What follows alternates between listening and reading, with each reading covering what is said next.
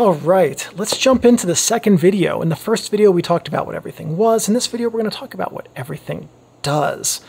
So, this camera is mechanical-ish, okay? What that means is that the battery, the, the camera's shutter speeds from 1 60th, I believe it is, or maybe it's from the flash sync speed up to 1 2000th, are mechanical and do not require a battery to use, but the slow shutter speeds do require a battery to use, and the light meter and automatic mode also require a battery.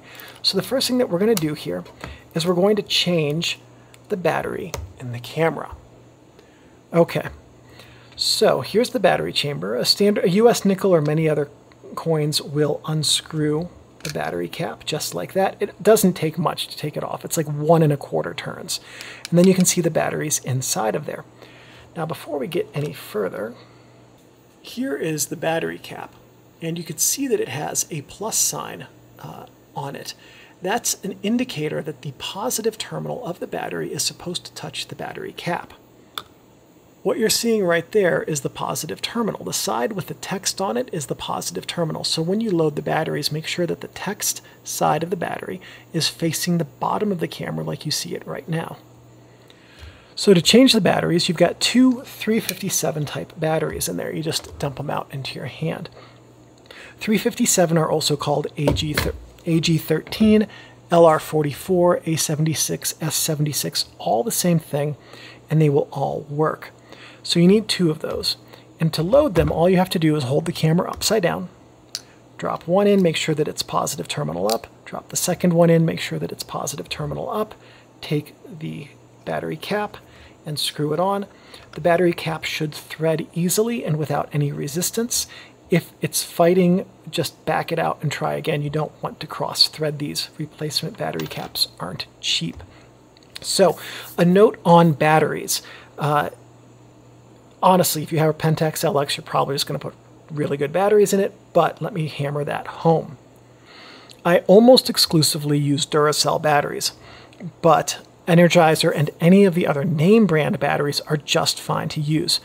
Don't use the unknown brand fly by night batteries that are for sale on everybody's favorite online mega retailer because uh, I have had a nice and long history of those leaking or blowing up in cameras.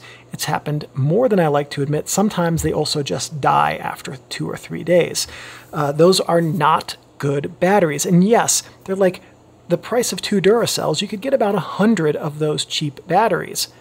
But if they break or leak in your camera, the cost of that repair is going to be more than many decades worth of good batteries would be. So just skip the repair, buy good batteries, and just make sure that you keep an eye on them to change them out about once a year and you'll be fine.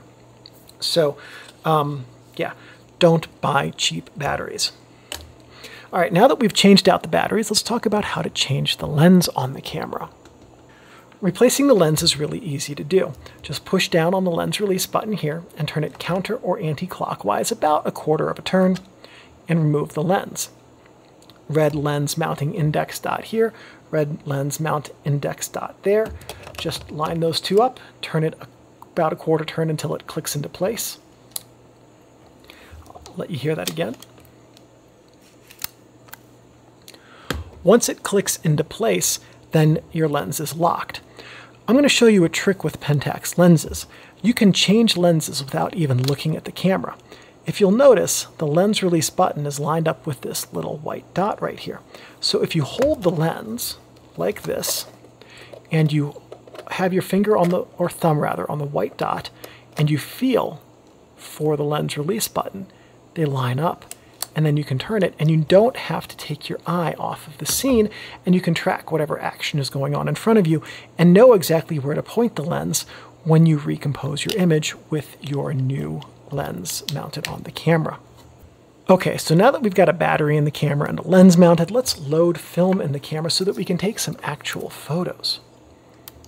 We're going to lift up the film rewind button and we're going to put the film cassette into the camera. Next, we're going to pull out a leader and feed it into the film take-up spool, just like that.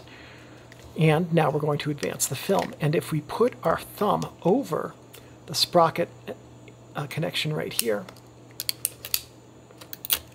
should, there we go, keep these engaged long enough that the film gets taken up easily so that um, it, uh, it doesn't fall off of the take-up spool and not advance. Okay, so now we're going to close the film back. Would help if I wasn't in automatic mode with the lens cap on. And now notice the film, the film uh, rewind knob here. I'm going to make sure that there's no slack in it. And as I advance the film, the rewind knob is going to turn. Okay, and there we have it the film, uh, if the film rewind knob is turning, we know the film is being taken up. Now you can stop at either zero or one with this camera. This camera, uh, I have stopped at zero before and started counting from zero, so I know I've taken zero photos, and it does not cut off any part of that first frame. Matter of personal preference, whether you want to start at how many photos you've taken or which frame this is about to be. Okay. Now, for those of you who have never used film before, you're going to go through your day taking your photos. And the important thing, well, there's many important things to know about film, but for this part of the video, the important thing to know is that film is one and done. It can record light a single time in a controlled manner through a proper shutter speed and aperture, or in an uncontrolled manner like this. If you open up the film back with your film and your camera, you will erase the images that are on your film. But I want to show you how this works.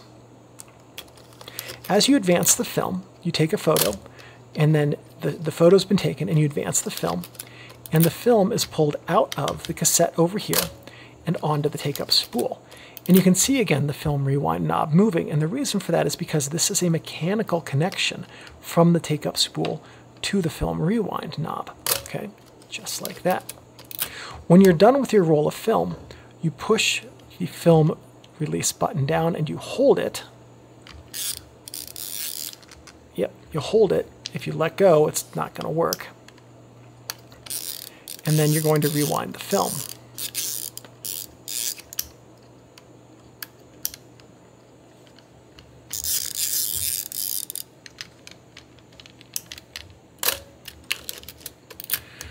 Now, before we get too far. Before we go on to the next step, I'm going to show you exactly how the film moves through the camera. I think this is a really good way to do it. And you can see here how much the smiley face moves from in front of the shutter to past the shutter. And this is where the photo we just took was. This is where the photo that we're about to take is. Okay. So you've gone through your whole day. You've taken all of your photos. And you've rewound your film the whole way. At this point now, you can open up your film back. Your film is inside of the film cassette. We'll drop it into our hand. And now you can grab another film cassette and load it in and keep going. Or if you're finished for the day, close the film back and make sure your, your shutter has been fired and you are done with your film. Next thing we're going to talk about is flash use with this camera. Now, not all of the prisms have a flash. The FA1W and uh, FA1 and FA1W have flash hot shoes uh, other flash, other prisms like the FA2 and uh, the, the Sport Finder over there do not have hot shoes. So you can mount with this, with this prism a flash on top of the camera just like this. You also have over here PC ports. Those are Prontor Compur ports um, that connect to an FP style flash on the top or an X style flash on the bottom. The hot shoe is also X, and this flash right here is an X. If you don't have to change the bulbs after every shot, it's an X flash. Okay. So the uh, so you can either plug the, the flash into the hot shoe or into the PC port down here. The worst possible place for a flash is right on top of your camera.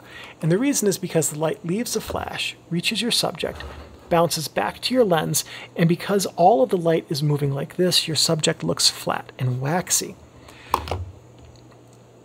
When you think about how we see people outside under the sun or under overhead lights at night, indoors with overhead lighting, People and other things we see are always lit from above, and that's what we think of as being natural, okay? So you want to use your flash to replicate that. So if you have to put your flash in the hot shoe, try to get one that at least has a tilting head so that you can bounce the light off of the ceiling. Even better is one that has a tilting and articulating head so that you can turn the flash and have it bounce up off of a wall if you don't have a ceiling or off of a wall and a ceiling for even more bounce. The more dispersion of light that you get with your flash, the softer the light and the more flattering it's going to be to your subject. If you don't have a viewfinder with a hot shoe, you can still use a flash on this camera by plugging it into one of the PC ports right here. So if you have a standard flash, you would plug it into the bottom port, and then you could put the flash off to the side of the camera like this. Now, if you have an inexpensive flash that's locked with the flash pointing forward, and you got something called a flash bar, which is this guy right here, you get one screw to thread into the tripod socket on your camera. And then this other screw threads into an adapter for your flash, and then the cable goes to the, the PC port. And now you can rotate your flash. So you can hold your camera in portrait orientation and bounce your flash off the ceiling. You can hold it in landscape orientation and bounce your flash off the wall, or at some angle like that. And that gives you a lot of flexibility for less money than a very high-end flash. Now the flash sync on this camera is a bit weird because there are two different flash sync speeds. In manual mode, the flash sync is X and anything slower than X.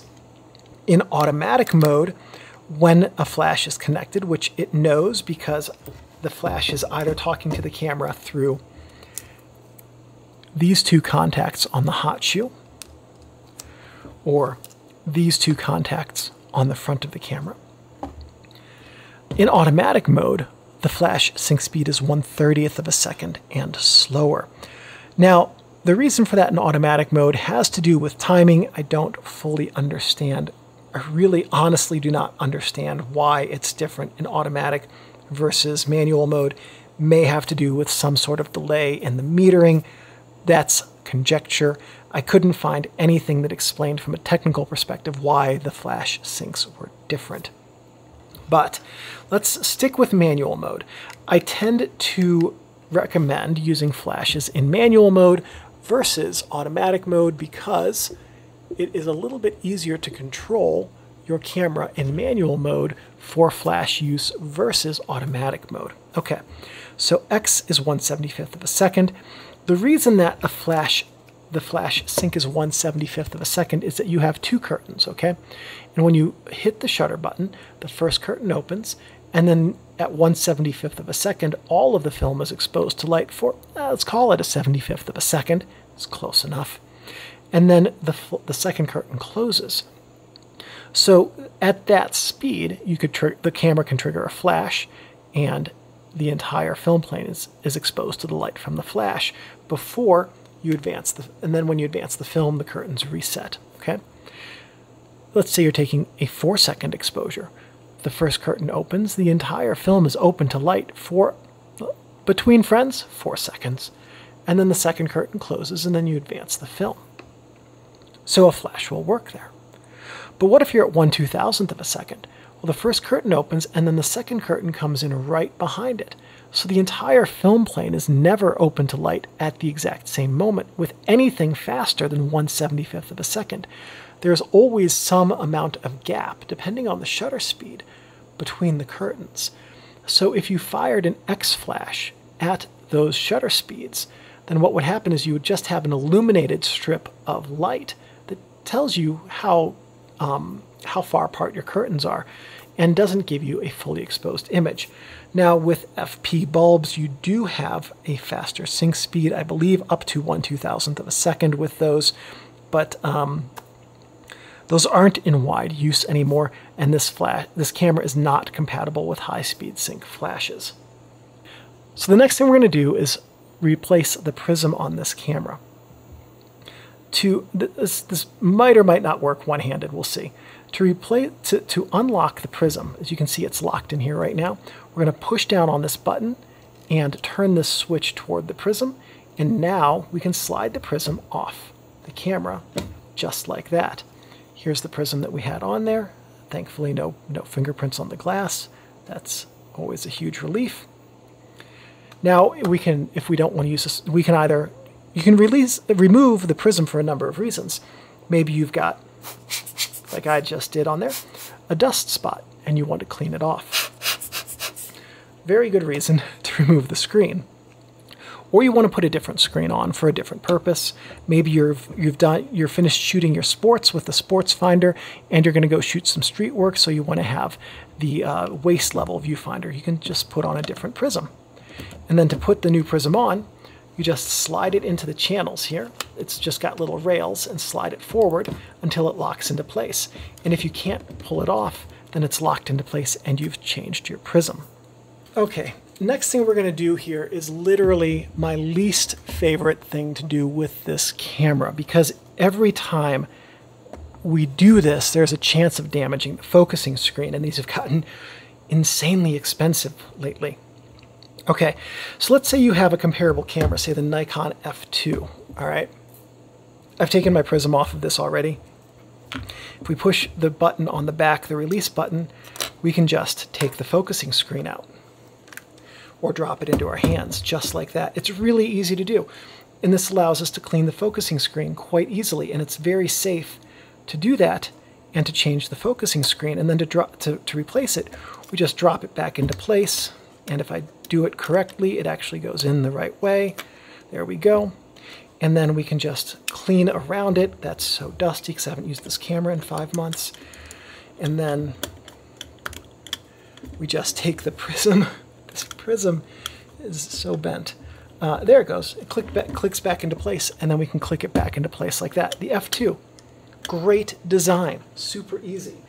Or, or maybe we have a Canon F1 over here, and, and we just push the button to unlock the prism on, the, on it, take the prism off, and then, hey, look at that. We can, we can access the, the, the focusing screen. Some, oh yeah, that's right doesn't have a release. We just have to pry it up just like that. And we can get to the focusing screen and clean it or swap out the whole stack to put in a different focusing screen. Really love the focusing screen swapping on the Canon F1. I think it does. I think the Canon F1 does that better than any other camera ever made. Because the Pentax LX is weather sealed, at least this is the conjecture I found online, the, the focusing screen is replaced a different way. You don't replace the entire stack, you just replace the focusing screen. And in order to do that, we have to get into it through the shutter box. And this is kind of a pain because in order to do, to do this correctly, the camera has to be upright. So um, otherwise, the prism, the focusing screen will not nest correctly. Now, what you need when you do this is a focusing screen replacement kit like this. I really don't recommend doing this without the proper tools. Okay, so just gonna grab this guy and pull it out. These are the pliers that come with the focusing screen replacing kit. Here's a screen that we could put in. We're going to grab it. We're going to set it upright in that holder right there. All of the grabbing that we do with this focusing screens is done with this tip right here on the tab of the screen. It never touch the actual screen itself. You will scratch it and leave a mark on your screen. I'll show you what that looks like in just a moment. Next, underneath here, there is a little tab that we need to hook with the hooky part of this of this tool in order to open there it goes. Okay. It's, uh, it is right in the middle, by the way. And then when you tilt, when the camera's upright, gravity pulls the focusing screen down. And now what we're going to do is we're going to reach into the focusing, into the camera's shutter area. We're going to grab the tab with our tool, take out our focusing screen, and put it over here to be safely stored so we can put the other screen in. Now I promised you I was going to show you what this looks like Let's see if we can get it lit up here well enough. There we go. That's how we're going to do it. All right, you should be able to see by the where I'm grabbing the screen with the uh, plier tool, there are a couple of little scratches right there. those are actually in the focusing mat and happened the first time that I installed this screen, which was new old stock when I got it.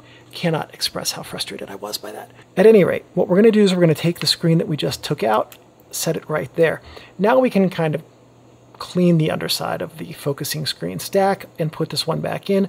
Or let's say that we had the plain mat screen in there and we want to switch to the split screen like this or the grid screen like the other one has or one of the other 14 screens that were available for this.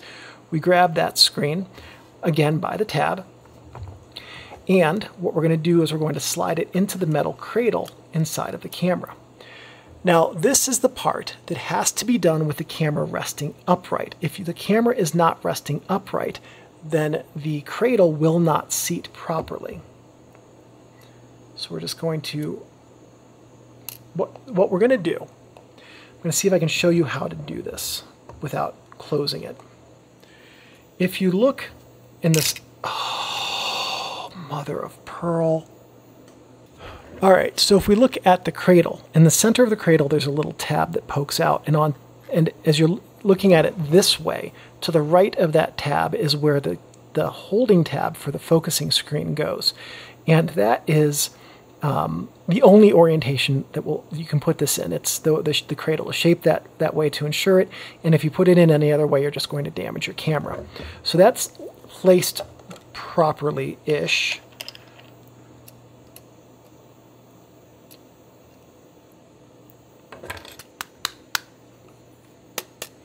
Gonna just kind of use some, there we go. Now it's placed properly. That's what the, the, the screen should look like when it's placed the action that we have to do is to take the, this tool and push the cradle shut. This will only work if the camera is resting on its base, so I'm not actually going to be able to show you exactly how that looks.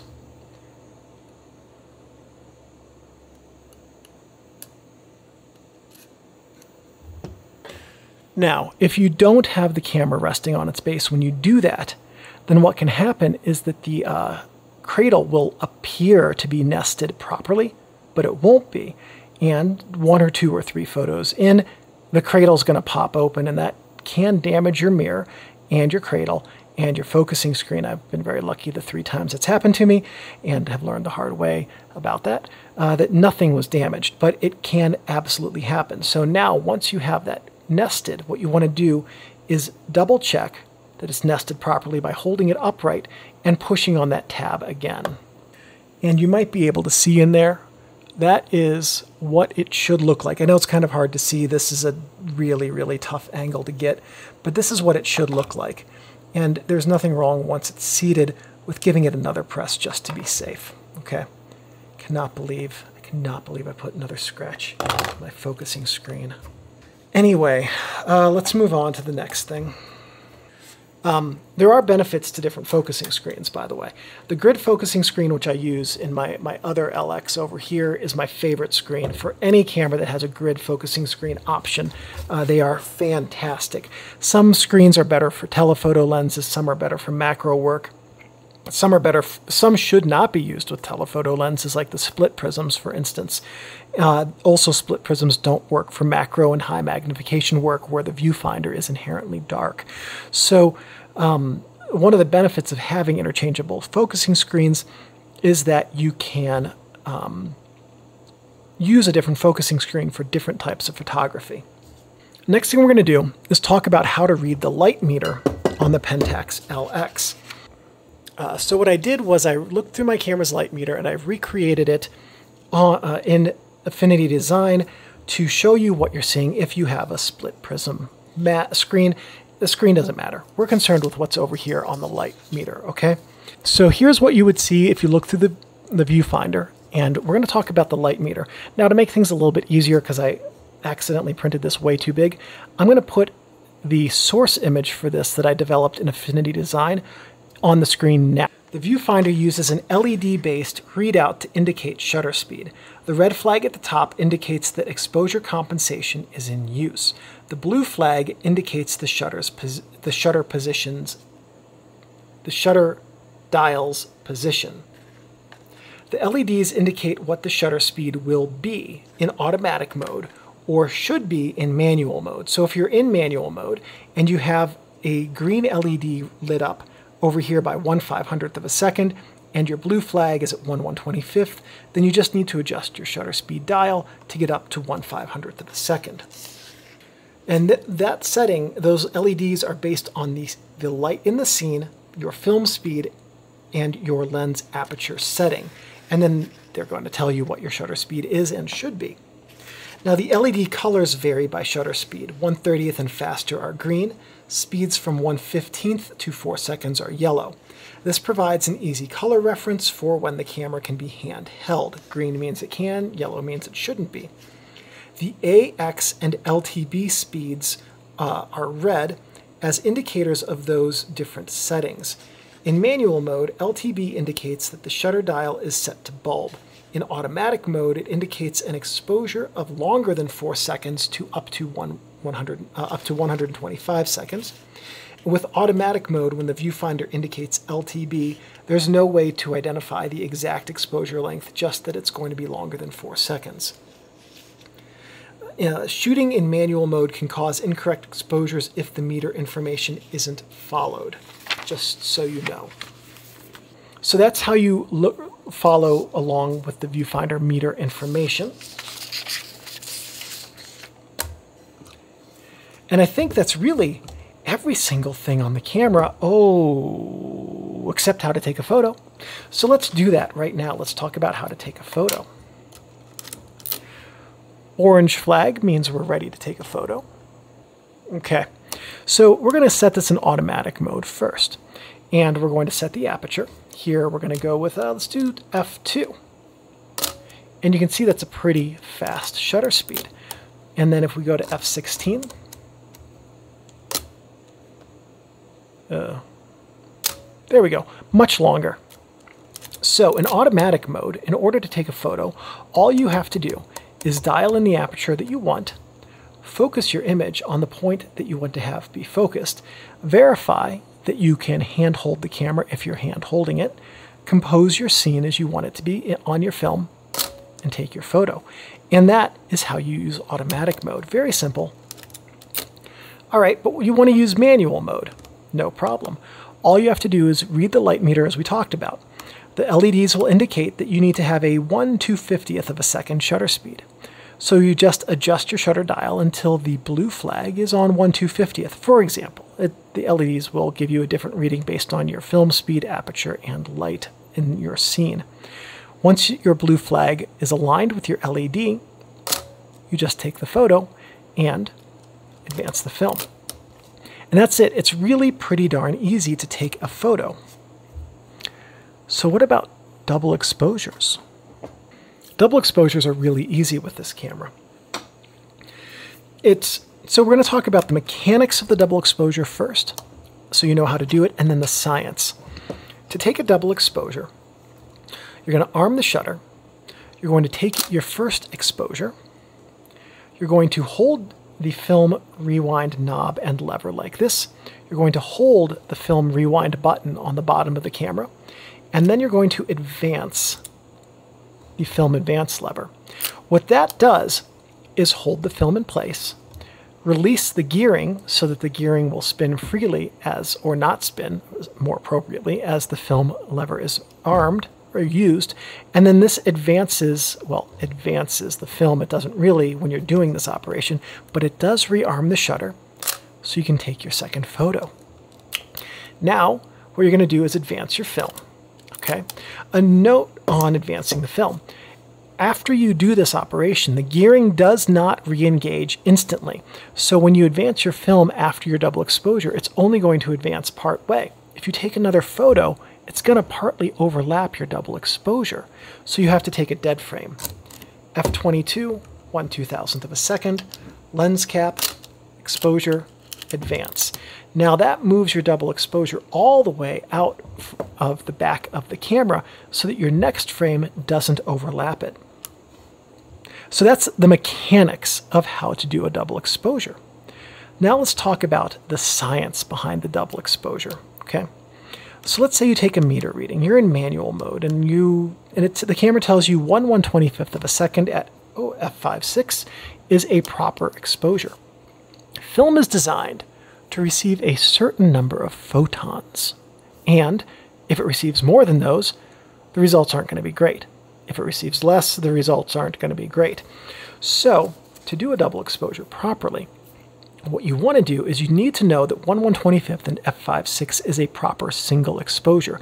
If you take two exposures at that setting on your film, you're going to end up with a negative that is called thick, dark, or dense. There's, those are three words that mean the same thing. Too many photons, too much negative density. If you digitize your film, you're going to have digital noise and low contrast. If you print your film in a darkroom, you're going to have long print times and low contrast. So, you want to have proper negative density with a double exposure, even though there's going to be two images on it. If you're in manual mode and these are your settings, then you need to adjust your dial or your aperture to cut the amount of light by half. So you probably know if you're using this camera that going from 1 125th to 1 250th is half the amount of light. These are fractional seconds. The higher the number, the less time. Every time you switch a dot or a click the shutter speed uh, setting rather, you are doubling or halving the amount of light with the exception of going from 1 125th to X and then to 60 in this section. Everything else here is doubling or halving the amount of light compared to the number next to it. So in manual mode, you can either go to 1 250th of a second from 1 25th or from F5.6 to F8. Each of these marked numbers is a full stop. Okay, with the exception, I think F2 to 1.4 is, is that a full stop? Yeah, that is a full stop. I take that back. So each of these marked numbers is a full stop, okay? So if you want to keep it at 1 125th, you could then go to F8. And this would be good if, let's say, you needed to use a flash, right? You want to keep it at 175th, but F5.6 too much light for double exposure. F8, perfect amount of light for double exposure. Okay. So whatever settings you're going to do, you're going to take your first photo, going to hold all of the buttons like we talked about, rearm the shutter, and then you're going to take your second photo. And then advance your film, take your dead frame, advance your film, and you're ready to go on shooting. What if I told you there was an easier way to do this? Let's go to automatic mode. Remember the exposure compensation dial over here? One half of the light is exactly the same as going from 1 125th to 1 250th. First shot, hold all the things, advance. Second shot, double exposure, properly exposed, because you've told the camera to give the film half the correct amount of light for each exposure. Now this becomes a really powerful tool if, let's say, one of your exposures has one set of lighting and the other exposure has a different set of lighting, the camera will automatically figure out the proper exposure and give you half the amount of light. Now, once you've finished your double exposure, just be sure to go back to proper exposure. Otherwise, the rest of your film will be very dark because all of the film will have gotten half the amount of light that it's supposed to have gotten. And that is how you take a double exposure with the Pentax LX. And with that, we have literally covered everything about this camera that you need to know to get out there and get shooting with it.